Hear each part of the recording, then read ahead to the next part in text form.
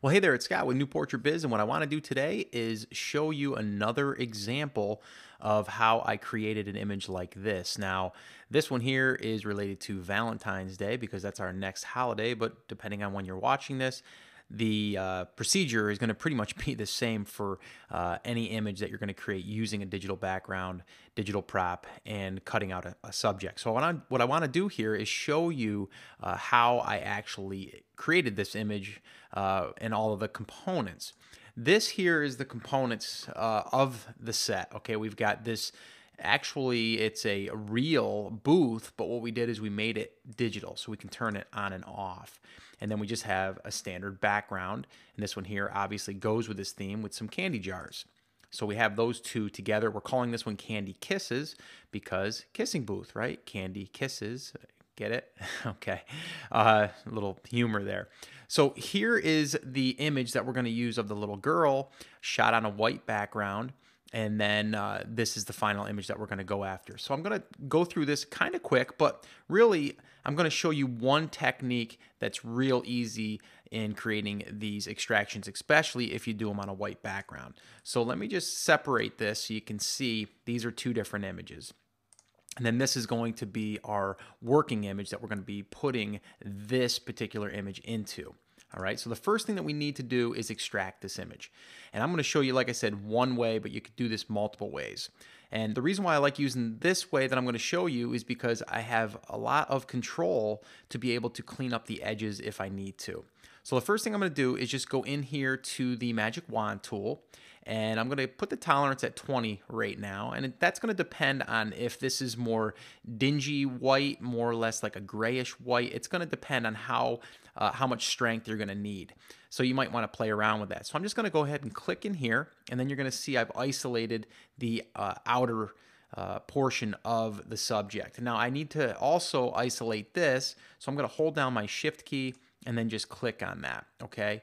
And then also right here, you can see that didn't go all the way in. Let me zoom in on that for you so you can see that and move over the image so you can see it. But right here in inside of that. Now I'm going to do that right now, but you could do this after the fact. All right, so I'm just going to hold the shift key again, and this is just going to add a selection, and you can see it filled it right in there. Now what I'm going to have to do is unlock this, okay? And the way that you do that is you just double click on that. And you can name this whatever you want. I'm just going to leave it and say okay. Now I can go down here at the bottom of my palette, of my layers palette, and I can go ahead and click this little icon, which is a layer mask. It's adding a layer mask, okay? Now, before I do that, let me just look up here. I can see this didn't also get in here, so I'm going to hold the shift key again, and I'm going to do that, and it's going to bring it in. Okay, so then just go back down here and then just go ahead and click on the layer mask. Now you can see this has happened before to people and they get caught up on this or they get hung up on this. Let me just go back. The reason is because we have to invert it. So depending on what you've worked on previously, that may have already been on invert versus, um, uh, uh, or inverse, I'm sorry, rather than um, the opposite. All right, so let me just go inverse. And then, and all I did there is went to select and then inverse, okay? And then from there, I can go ahead and click on the mask. And now you can see now that we're selecting, we want the background to go away and the stuff inside of the selection to stay. And inverse just means the opposite, all right? So that's that. So we've got a pretty good extraction if we look at this right here. Now you can see this down here. Look at this. This is one little issue. I'm glad that happened because I can show you how we can fix that. See that right there? Um, that there can be filled in very easily now because we have a mask. And what happened was is it just bled inside of there because it's white on white. So all I need to do is make sure that I'm on the uh, layer mask, okay? Not this here. This is the layer itself. This is the layer mask. So just click on that. And then I'm going to want to choose my black brush. Okay, so just go to your paint uh, brush and then black and then make sure that my brush is big enough. I'm just hitting the bracket key or you can go up here. Make sure that your hardness is set to whatever you want. I'm going to leave it at 65%. And then I'm just going to go, oops, that's going to take it away. I'm sorry. We got to go to white. So let's switch this to white. Black takes away and white adds. All right, there we go. And now I can paint it back in. And all I'm doing is just filling in the layer mask with uh, with the stuff that is uh, that is supposed to be there. Okay, so that's just filling in inside of here. Okay, So if I went with the black now, I can take it away. If I go with white, I can fill that back in. And all that's doing is telling the mask that I want to uncover or cover whatever I'm selecting. All right, so that's how you do that. That's why it's really nice to work with a layer mask if you can. All right, so now what I want to do is drag this into this. And some people get hung up on this too because these might be nested depending on how you've opened your images.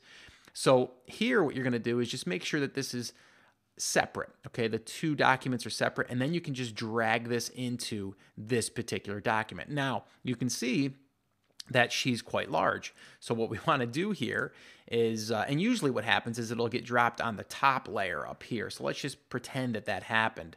And then what I want to do is hold the shift key and I'm just going to scale this down. Okay, uh, like this. I'm going to make her even smaller. If you remember in the image, we want this, you know, the kiss is 25 cents to kind of match her size. So there, looks pretty close. And now what you need to do, if you're working with one of our digital backgrounds and props, you want to bring this below the cover up layer. In this case is the kissing booth and I can bring her up now. I can scale her down a little bit more um, and then just go ahead and click apply. And you can see we're pretty much done, other than there's a little bit of cleaning up that I want to show you how to do around this. Uh, now, with the layer mask, what's really nice is I'm able to get rid of this some of this white okay around here and that's a lot of times a problem when you shoot on white is you'll get that that bleed or the um, the uh, white halo, as some people call it. But in this case, it's up in the hair a little bit in here, but there's a really cool way, and I've showed this before, but I'm gonna show it again on how we can do it, okay? So all I'm gonna do is make sure that I'm on the layer mask.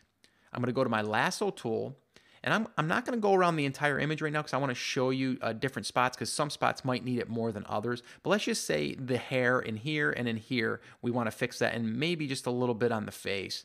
So I can just go like this, select what I want. I'll even go down here a little bit and then up here looks okay, so we'll bring it down into there.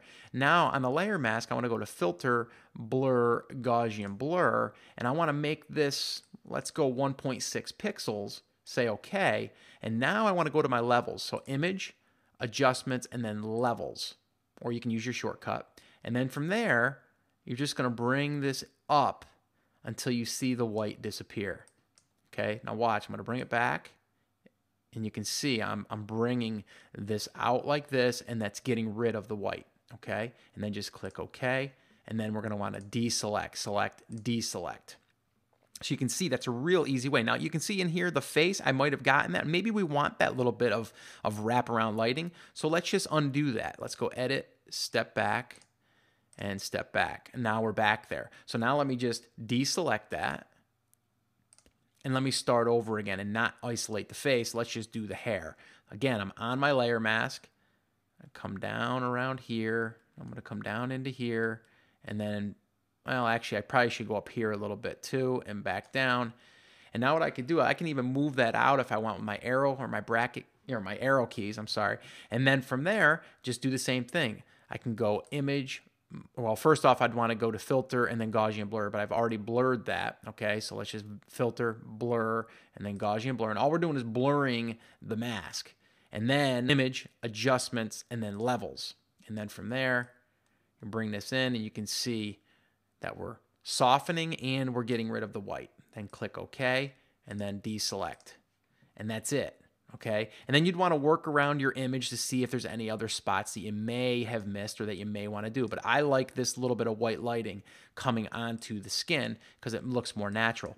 Now up here, you may want to do the same thing. So let's make sure on our layer mask, go up here, bring it around, and then there, and then make sure that we filter, blur, and Gaussian blur, and now say okay, 1.6 was the pixels. And now we're going to go select or mode, adjustments, and then levels.